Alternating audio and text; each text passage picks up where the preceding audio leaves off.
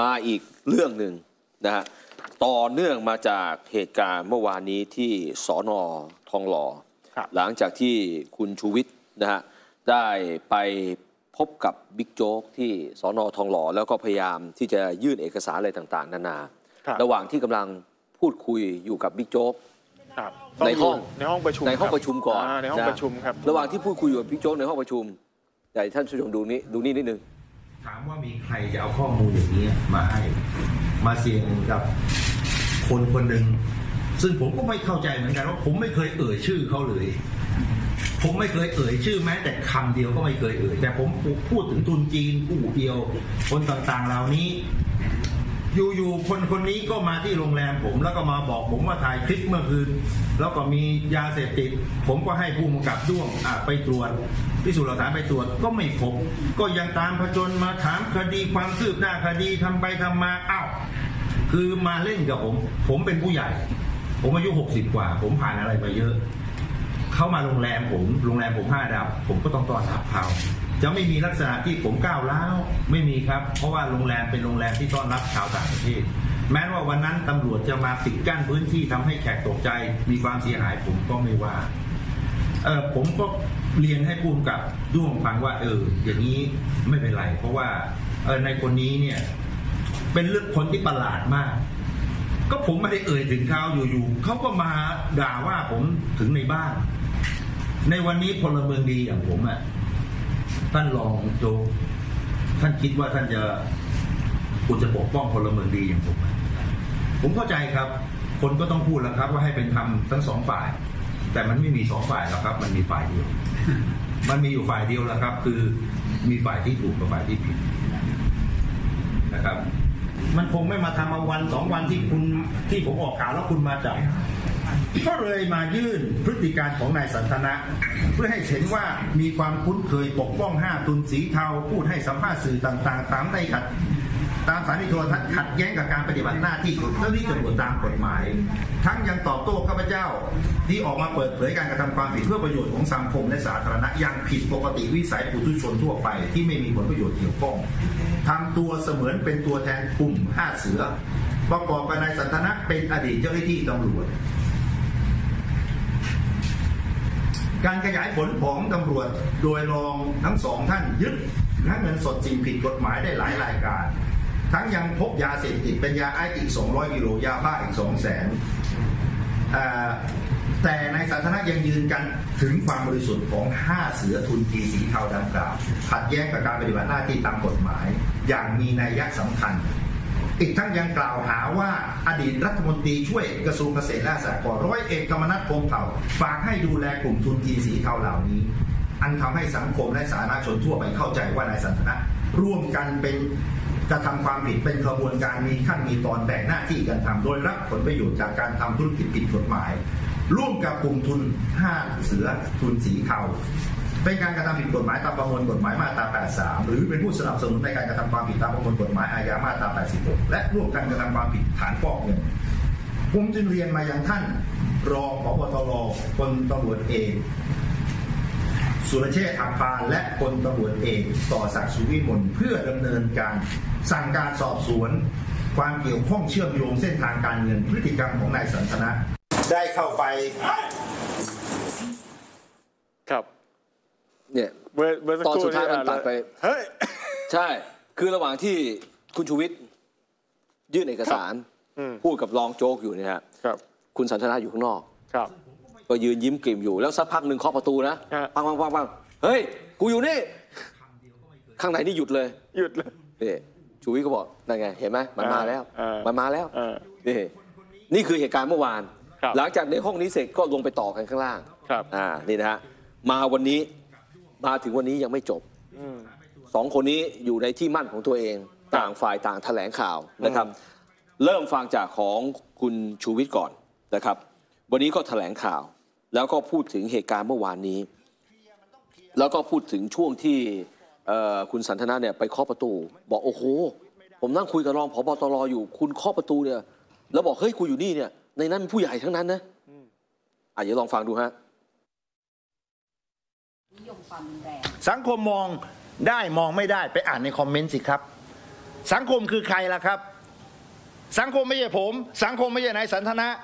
สังคมถ้าคุณอยู่ในโซเชียลคุณก็ไปอ่านคอมเมนต์ได้ มันเป็นการสื่อสารสองทางนี่ครับ แล้วคุณดูคอมเมนต์มันเอกฉันท์หรือเปล่าว่ามันหรือผมเป็นคนที่เปิด ไม่เป็นไรครับ ผมนิยมความรุนแรง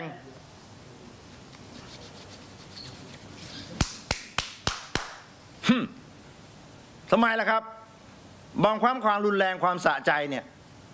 มันก็จำเป็นต้องใช้กับคนบางคน ผมมีอยู่แล้วข้อมูลในบ้านนี่ ผมมีอยู่แล้ว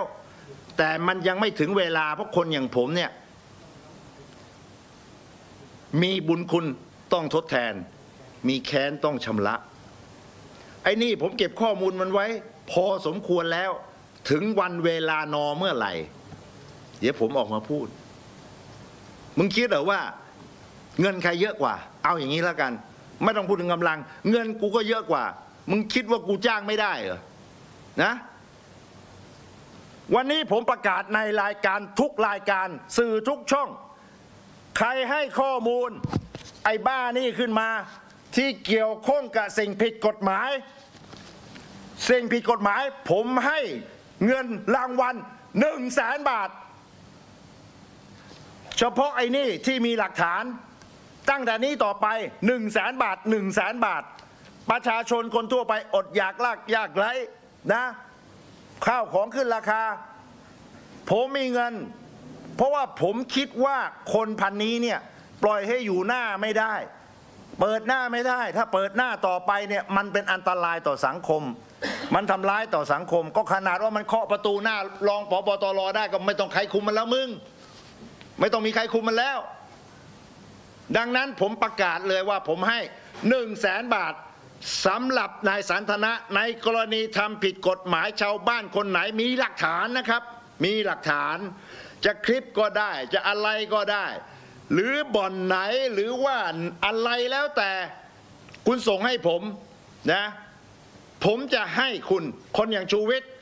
ผมพูดจริงทำจริงอยู่แล้ว เรื่องทำบุญเรื่องทำทาน ผมทำมาเยอะ ไอ้สันมึงกับกูมาเจอกัน ถ้ามึงแน่ ถ้ามึงบอกว่ามึงจบ นายร้อย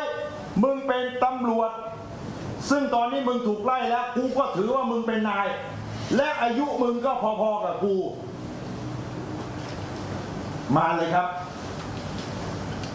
ถ้ามึงอยู่เกินนาทีหนึ่งนะ กูจะกราบตีนชาวบ้านให้มึงดู แค่นาทีเดียว กูขอแค่นาทีเดียว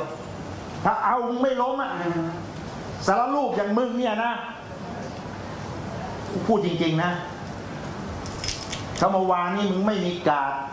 นะ แล้วมึงเดินลงมานะ บอกจริง ๆ นาทีเดียว นาทีเดียวผมว่าถ้าไม่มีคนกลารหนึ่งน่าจะใส่เลยนะฮะเอ้า แล้วทำไมอะจะไปเก็บไว้ทำไม เออมาแล้วไปเก็บไว้ทำไมทำไมมึงต้องมาพูดอากันไว้กันไว้ เอาที่ข้างบนแหมเก่งจังเอ้ยทุบไปทุบไปเอ้ยกูอยู่นี่กูอยู่นี่อ้าวอ้าวอ้าวระดับรองพบตรเขานั่งอยู่ก็ต้องให้เกียรติเขาเปล่า ถูกป่ะครับ แล้วผมจะไปทำอะไร ผมจะไปอะอะโวยวายตะโกนด่ากับมันเหรอผมไม่ทำหรอกครับ ผมผ่านอะไรมาเยอะ แต่เมื่อผมเดินลงมา ผมก็ไม่ผิดถูกไหมครับ เมื่อเดินออกมาเลยจากสถานที่ราชการ ผมบอกกวักมือมาออกมาข้างนอกนี้ดีกว่าอ้าวแล้วมันมาไหมเอ้ยเราไม่ได้เงินเยี่ยมเยี่ยมเยี่ยมจะโถเฮ้ยผมรู้หรอกไอ้นี่มันลูกป๊อตไม่ใช่ของจริง มันของเก๊ดูก็รู้นี่อันนี้ของฝั่งโอ้ชูวิทย์นะฮะฝั่งสันทนาบ้าง ก็ในเวลาไล่เลี่ยกันนะฮะอะอย่าครับลองฟังดูนะครับ ไปพูดแล้วมันไปทบทวนมันก็ไม่ดี แล้วเขาก็ปฏิเสธอยู่แล้ว เดี๋ยวผมออกลุกขึ้นเนี้ยเขาก็พ่นพามเข้าไป เอ้ยเอาผมมาอ้างเขาปล่อยไป เออคุณจะผมคุณก็เข้าเมืองไปผมเข้าป่าดีกว่าจบเออแล้วคุณสบายใจก็ขอให้อยู่กันให้ถึง 65 นะเออไม่ต้องมาห่วงผมด้วย ผมเนี่ยมันเรื่องสุขภาพผมนะ มันก็มีนิดหน่อยที่ผม ช่วงโควิด ผมลงปอดจริง ไอ้ถามว่าพูดแล้วมีเหนื่อย อันนี้ก็นิดหน่อย แต่ทุกอย่างความดันปกติ แล้วยังดันได้ปกติด้วย ว่าคุณชูวิทย์ไม่ต้องมาห่วงผมอะผมน่ะห่วงคุณ